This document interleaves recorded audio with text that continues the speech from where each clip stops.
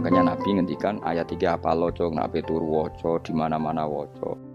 Oh, Nabi begitu bangga dengan ayat kursi. Akhirnya kena bakul ditulis di do.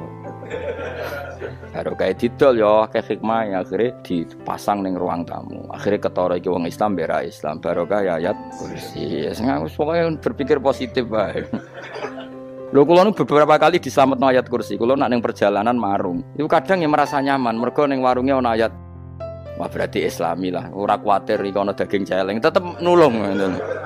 Ya ini jujur mawon, kula niku tetep asobia, artinya nak ning perjalanan sing gak jelas lor kidule ora ro daerah kok marung ana ayat kursi paling ndak kan orang ini punya etika kira-kira ora bakal apa jualan daging babi lah misalnya Delala anake raja iku seneng rambut pasangan. Dituku larang nek rambut pasangan, terutama sing apik. Satu-satunya jalan bojone Nabi Ayub adol rambut mahkotane nih. Bareng didol untuk duwe akeh Nabi Ayub ya menuso ya curiga. Kowe iso duwe akeh iku piye? Wong kowe ra merga. Cerita. Iku mahkotane rambut didol putrine raja sing seneng rambut palsu mergo rambutnya elek. Nabi Ayub duka. Demi Tuhan, nak aku mari kita bedeti ping 100. Wala wali zaman sabari Nabi Ayub diapresiasi pangeran. Diparingi mari diparingi mari dekne kadung sumpah kudu tetep bedheti bojone ping satu. Akhirnya pangeran nyatane ngongkon ngakali. Ngene lho yop gampang. Kowe gawe bedetan satu, taleni. Terus sabetno pisan anggepe ping satu. Lane kadang wong toreko rada niru iku. Muni wiridan ping 10.000 tas wis bar. Lho kula tak cerita nih, Nabi tidak bodoni sahabat kan nate.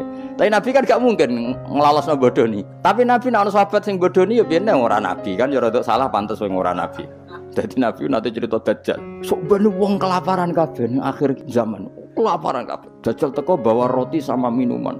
Betapa menariknya dalam keadaan seperti itu. Wes akhirnya sahabat do nangis kan. Nabi kok ya rileks. Tenang ae. Nak Dajjal teko kok aku ijek urip, aku ijek sugeng. Aku sing lawan Dajjal. Kowe tenang. Iku jenenge pemimpin sedaya. Tenang. Nah aku wis gak ono. Fawau fawau khalifati angkum. Allah engko sing ngurusi Dajjal. Ono sahabat kok nguri, ya rada bedu sahabat. Ya Rasulullah.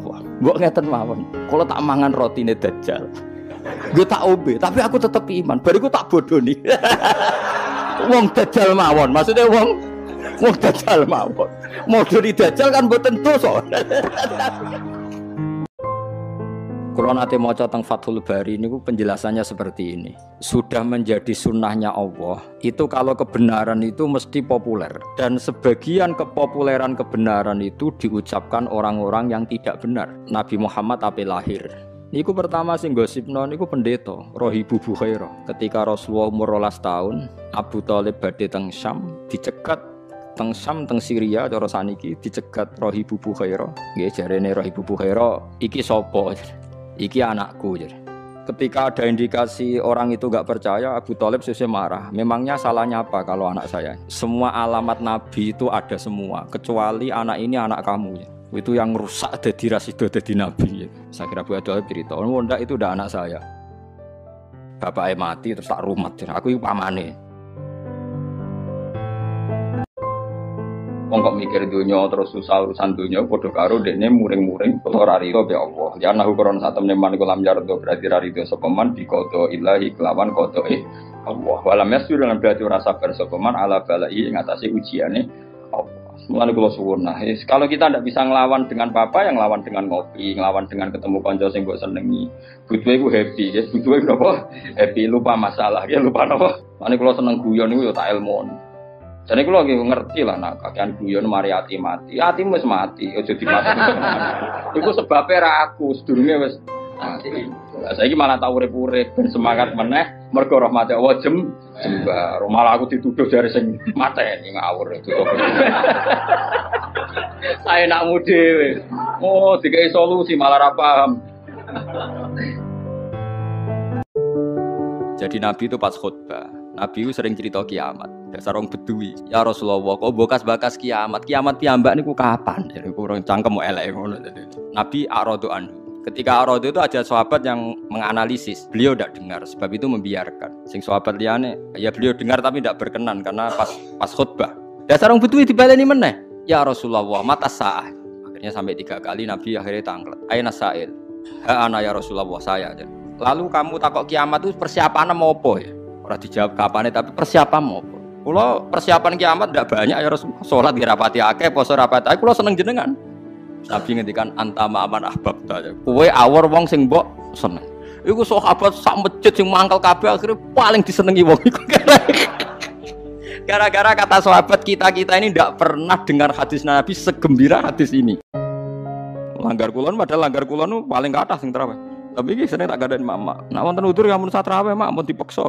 Mosok Gus Ramadan pisan gak nak wonten udur ki prae ya ya mending.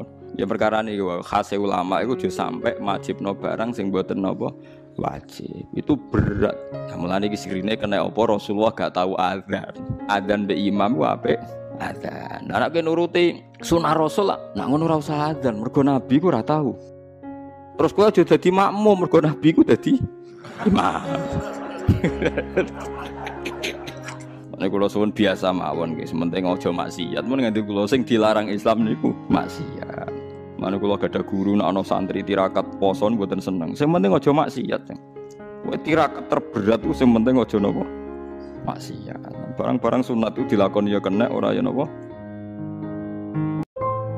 Aku iki bahak, bahak iku menusa.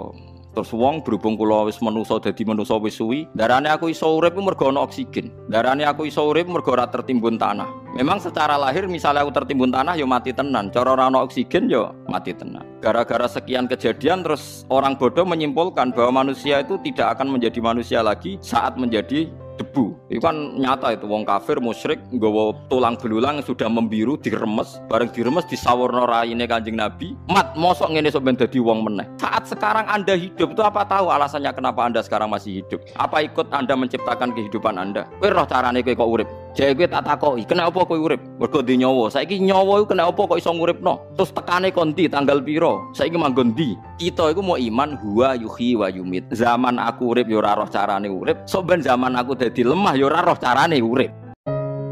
Umpama kowe ora digawe Allah kan ya ora iso nyekseni kekuasaane. Mulane jare Sidina Ali, aku ora seneng mati cilik terus mlebu swarga blas gak seneng. Mergo aku ora roh kebesaran kudrahe Allah Subhanahu wa taala. Mulane kowe masuk urip ngene wis mbok jelas mbok ora kowe sing syukur nganti tuwa berarti kowe kesuwen roh kudrahe Allah. Lah soal kesuwen nanggung utang takdir paham ya. Iku napa? Paling kan akan utang akan masalah ya nyekseni do paham. Nyekseni napa? Tapi nek iso jake akal. Utang sing halal iku nak dhuwitmu 1 juta, utange 1 juta. Pokoke utang sing halal lu gak ngluwahi aset.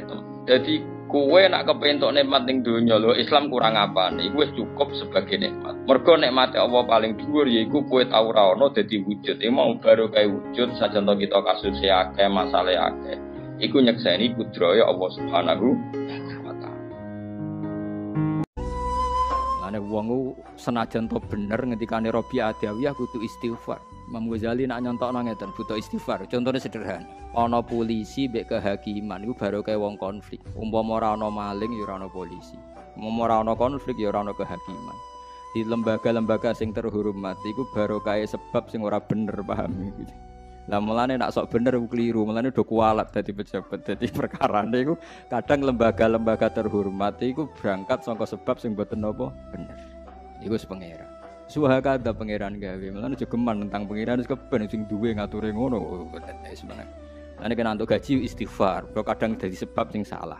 Ya terus ya kena kan, kiai untuk salam tempel mergo orang bodoh lah. Akhirnya muga pinter kabeh ora untuk napa?